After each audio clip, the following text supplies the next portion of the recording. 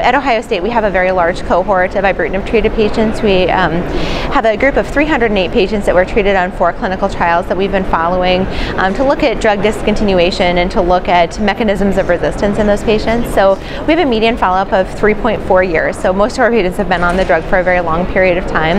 Um, and in that time, we've had uh, 27 patients progress with Richter's transformation and 55 progress with CLL. Um, Richter's tends to be a more early phenomenon phenomena usually occurring within the first 18 months and pretty rare after two years, whereas people progressing with CLL on ibrutinib tend to do so after two years of treatment.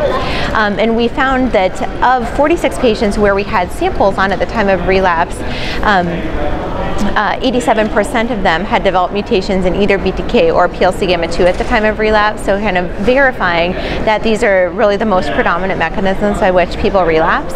And the majority of patients did have BTK C481 mutations, so at the binding site of ibrutinib. Um, we also then, since we know that people develop these mutations at relapse, we're able in many cases to go back and look at serial samples that we've saved.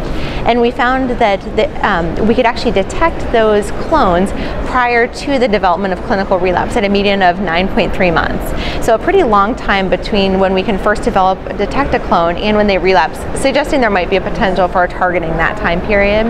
Uh, we also looked prospectively and determined that we, yes, can detect these clones prospectively in a clinical setting. Um, and like I mentioned on the MOR 208 study, for some of those patients who develop these resistant subclones, we're then adding MOR 208 to ibrutinib.